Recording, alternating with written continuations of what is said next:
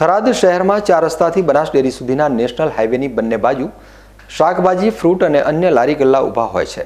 હાઈવેની બંને બાજુ લારી ગલ્લાઓ દબાણ કરીને ઊભા હોવાથી આ હાઈવે ઉપર વારંવાર અકસ્માતો થાય છે, જેમાં કેટલાય લોકો આ લારી ગલ્લાના દબાણોના કારણે નાના મોટા અકસ્માતોનો ભોગ બન્યા છે અને કેટલાયે તો જીવ પણ ગુમાવ્યા છે. જ્યારે કે પ્રશ્ન એ થાય છે કે નેશનલ હાઈવે ઉપર ખડકવામાં આવેલા લારી ગલ્લાઓ કોના ઇશારે ચાલે છે?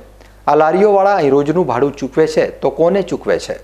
જો કે આ બાબતે તપાસ કરતાં જાણવા મળ્યું હતું કે આ રોડની બંને સાઈડની જગ્યા નગરપાલિકા વિસ્તારમાં આવતી નથી અને સરકારી જગ્યામાં ઊભી રાખવામાં આવેલી લારીઓ અને ગલ્લાઓવાળા દિવસનું સોથી વધારે ભાડું ચૂકવે છે.